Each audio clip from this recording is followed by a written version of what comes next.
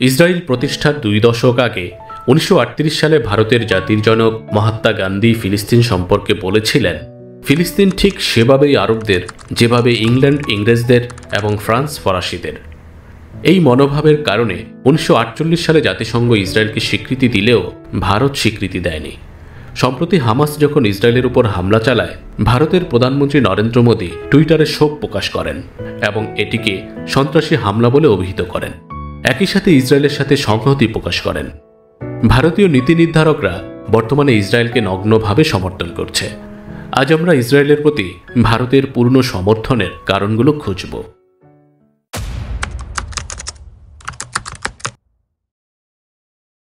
উনিশশো আটচল্লিশ সালে জাতিসংঘের সাধারণ পরিষদে ফিলিস্তিনি ভূখণ্ডকে দ্বিখণ্ডিত করা সংক্রান্ত একশো একাশি নম্বর প্রস্তাব গৃহীত হয়।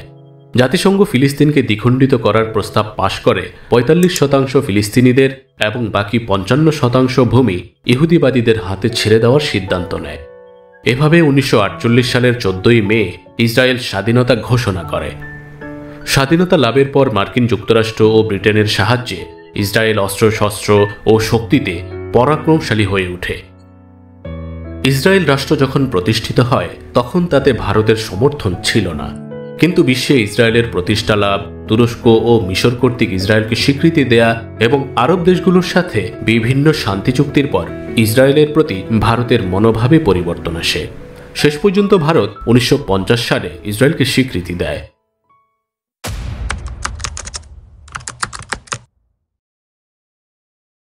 স্নায়ুযুদ্ধের সময় ভারত জোট নিরপেক্ষ আন্দোলন ন্যামের নেতা ছিল। এবং আরব বিশ্ব ও সোভিয়েত ইউনিয়নের সাথে ঘনিষ্ঠ সম্পর্ক বজায় রেখেছিল, কারণ ভারত ঔপনিবেশিক ও বর্ণবাদী শাসনকে সমর্থন করত না। কিন্তু সোভিয়েত ইউনিয়নের পতনের পর ও স্নায়ুযুদ্ধের অবসানের সাথে সাথে ভারত তার সমাজতান্ত্রিক পরিচয় মুছে ফেলে অর্থনীতিকে উদারীকরণ করতে চায়। এজন্য তার প্রয়োজন হয় নতুন জোটের সন্ধান করা এবং আমেরিকা ও পশ্চিমা বেল্টের দেশগুলোর সাথে সম্পর্ক তৈরি করা। তাছাড়া উনিশশো নব্বই সালের অগাস্টে ইরাক কুয়েতে আক্রমণ করলে ইয়াসির আরাফাতের নেতৃত্বাধীন প্যালেস্টাইন লিবারেশন অর্গানাইজেশন বা পিএলও ইরাককে সমর্থন করে। এতে আরব বিশ্ব হতবাক হয়ে যায় এবং ফিলিস্তিনের জন্য আরবদের সমর্থন দুর্বল হতে শুরু করে। এসব কারণে তৎকালীন প্রধানমন্ত্রী পিবি নরসিংহা রাওয়ের অধীনে উনিশশো বিরানব্বই সালের জানুয়ারিতে ভারত ইসরায়েলের সাথে আনুষ্ঠানিকভাবে কূটনৈতিক সম্পর্ক স্থাপন করে।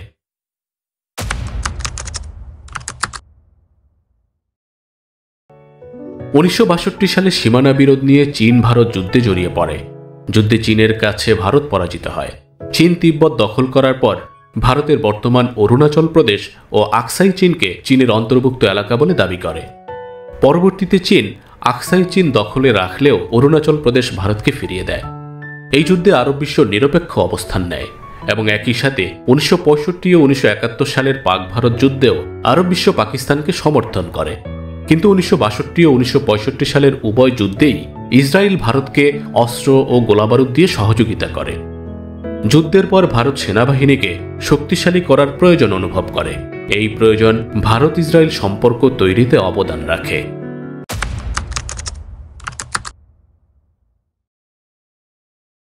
উনিশশো নিরানব্বই সালের মে জুলাই মাসে কাশ্মীরের কার্গিলে ভারত পাকিস্তান যুদ্ধে জড়িয়ে পড়ে, যা কার্গিল যুদ্ধ নামে পরিচিত। এই যুদ্ধে ইসরায়েলের সাথে থাকা কূটনৈতিক সম্পর্ক ভারতের বিশেষভাবে কাজে আসে। কেননা, কার্গিলের পাহাড়ের গুহা ও বাংকারে লুকিয়ে থাকা পাকিস্তানি সেনাদের মোকাবেলা করার জন্য ভারতীয় বিমান বাহিনীর প্রয়োজন ছিল বিশেষ ধরনের বোমার যা নির্ভুলভাবে লক্ষ্যে আঘাত করতে পারে। এ সময় ইসরায়েল ভারতকে এসব বোমা, মর্টার ও অন্যান্য অস্ত্র দিয়ে সহযোগিতা করে। এই সহযোগিতা ভারতকে যুদ্ধে জয় এনে দেয়।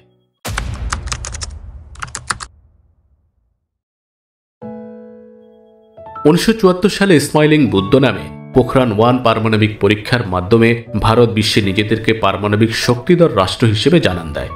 তখনও পারমাণবিক অস্ত্র সমৃদ্ধ দেশের তালিকায় ভারতের নাম ওঠেনি, কারণ ভারত এই কর্মসূচিকে শান্তিপূর্ণ উদ্দেশ্য বলে প্রচার করে। কিন্তু উনিশশো আটানব্বই সালে পোখরান টু পারমাণবিক সিরিজ পরীক্ষার মধ্য দিয়ে ভারত পারমাণবিক অস্ত্রধারী দেশ হিসেবে আবির্ভূত হয়। এতে ভারত আমেরিকা, কানাডা, জাপান কর্তৃক সামরিক ও অর্থনৈতিক অবরোধের মধ্যে পড়ে। কিন্তু ইসরায়েল তখন ভারতের পারমাণবিক কর্মসূচির সমালোচনা করা থেকে বিরত থাকে এবং অস্ত্র ও নজরদারি ব্যবস্থা সরবরাহ করার পাশাপাশি যুদ্ধে ব্যবহৃত সামরিক সরঞ্জাম আপগ্রেড করতে সহায়তা করে।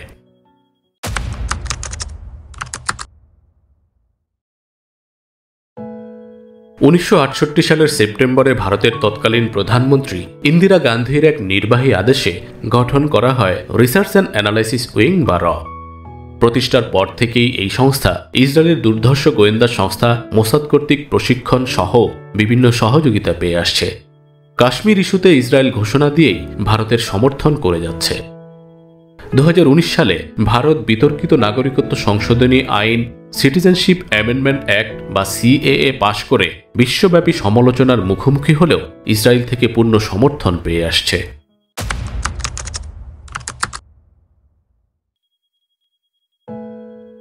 ভারত ও ইসরায়েল মনে করে, ভৌগোলিকভাবে তারা দুটি দেশই এমন জায়গায় অবস্থিত, যেখানে অন্য রাষ্ট্র সন্ত্রাসী পৃষ্ঠপোষকতায় তাদের ধ্বংস করতে চায়।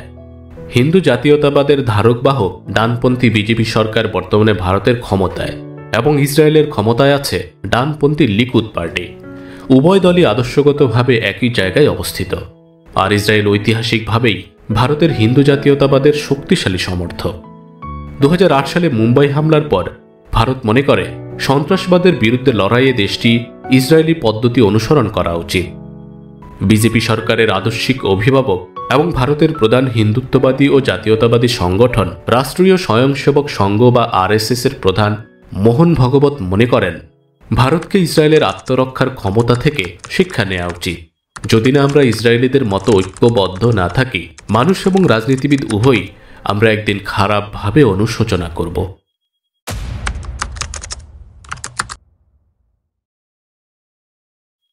উনিশশো বিরানব্বই সালে ইসরায়েলের সাথে কূটনৈতিক সম্পর্ক স্থাপনের পর মূলত হীরার ব্যবসা দিয়ে গঠিত দুইশো মিলিয়ন মার্কিন ডলার থেকে ভারত ইসরায়েল দ্বিপাক্ষিক বাণিজ্য বর্তমানে দশ দশমিক এক বিলিয়ন ডলারে পৌঁছেছে। দু হাজার তেইশ অর্থ বছরে ভারত ইসরায়েলে পণ্য রপ্তানি করেছে সাত দশমিক আট নয় বিলিয়ন ডলার এবং ইসরায়েল ভারতে পণ্য রপ্তানি করেছে দুই দশমিক এক তিন বিলিয়ন ডলার। দু হাজার সতেরো সালের জুলাইয়ে ভারতের প্রধানমন্ত্রী ইসরায়েল সফর করে প্রযুক্তি উদ্ভাবন, কৃষি, পানি, বিজ্ঞান ও মহাকাশ বিজ্ঞানের ক্ষেত্রে সহযোগিতার বিষয়ে ষাটটি সমঝোতা স্মারক সই করেন। উভয় দেশ মিলে শিল্প গবেষণা ও উন্নয়ন এবং প্রযুক্তি উদ্ভাবনে চল্লিশ মিলিয়ন ডলারের একটি তহবিল গঠন করেন। বিগত দু হাজার থেকে দু হাজার তেইশ সময়কালে ভারতীয় বিভিন্ন কোম্পানি ইসরায়েলে প্রায় তিনশো তিরাশি মিলিয়ন ডলার বিনিয়োগ করেছে। একই সময়ে ইসরায়েল ভারতে বিনিয়োগ করেছে প্রায় দুইশো চৌরাশি মিলিয়ন ডলার। এই দ্বিপাক্ষিক বাণিজ্য ভারত ইসরায়েল সম্পর্ককে শক্তিশালী করেছে।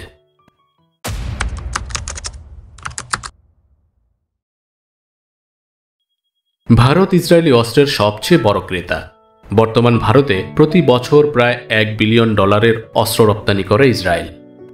দু হাজার পনেরো থেকে দু হাজার উনিশ সালের মধ্যে ইসরায়েল থেকে অস্ত্র আমদানি একশো পঁচাত্তর শতাংশ বাড়িয়েছিল Bharat. Stockholm international piece research ইনস্টিটিউটের গবেষণা মতে দু হাজার ষোলো থেকে দু বিশের মধ্যে ভারত বিশ্বের দ্বিতীয় বৃহত্তম অস্ত্র আমদানিকারক দেশ ছিল। ভারতের প্রতিরক্ষা গবেষণা সংস্থা, টিআরডিও, এবং ইসরায়েলি অ্যারোস্পেস ইন্ডাস্ট্রিজ, আইএআই এখন যৌথভাবে ভারতের জন্য Barak eight long range surface to air missile system তৈরিতে কাজ করছে। এছাড়াও ভারতীয় বিমান বাহিনী ও নৌবাহিনী মিগ টোয়েন্টি নাইন যুদ্ধ বিমান ও অন্যান্য পুরনো অস্ত্রসমূহ আপগ্রেডের জন্য ইসরায়েলের সাথে চুক্তি করেছে। দু হাজার বিশ সালের ফেব্রুয়ারিতে ইসরায়েল অ্যারোস্পেস ইন্ডাস্ট্রিজের সাথে ভারতের এক সমঝোতা স্মারক বা এমওইউ স্বাক্ষরের মাধ্যমে বর্তমানে ভারত তার নিজের দেশেই বিভিন্ন অস্ত্র বানাচ্ছে। যার মধ্যে unmanned air vehicle, assault rifle, sniper rifle ও বিভিন্ন ধরনের মেশিনগান রয়েছে।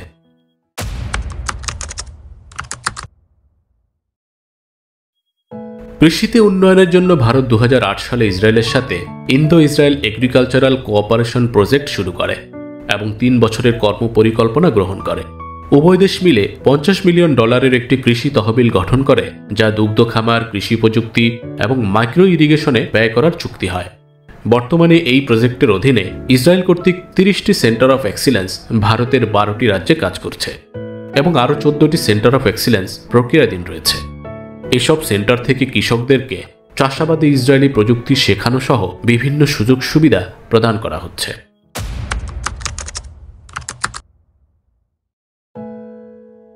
পানির সমস্যা সমাধানে দু হাজার ষোলো সালে ভারত ইসরায়েলের সাথে পানীয় সম্পদ ব্যবস্থাপনা ও উন্নয়ন সহযোগিতার জন্য একটি এমওইউ স্বাক্ষর করে।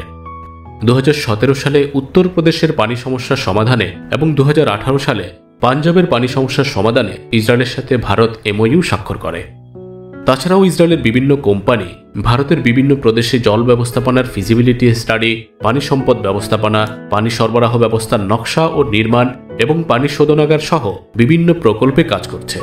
সর্বশেষ দু হাজার তেইশ সালের মে মাসে India Israel centre of water technology প্রতিষ্ঠার জন্য ভারত ইসরায়েলের সাথে চুক্তি স্বাক্ষর করে। উপরোক্ত বিষয়গুলো ছাড়াও চিকিৎসা প্রযুক্তি সহায়তা, গোয়েন্দা প্রযুক্তি সরবরাহ সহ বিভিন্ন ক্ষেত্রে ইসরায়েলের সাথে ভারতের বিশেষ সম্পর্ক রয়েছে। তাই ভারত ফিলিস্তিন ইস্যুতে ইসরায়েলকে অকাট্যভাবে সমর্থন করে যাচ্ছে।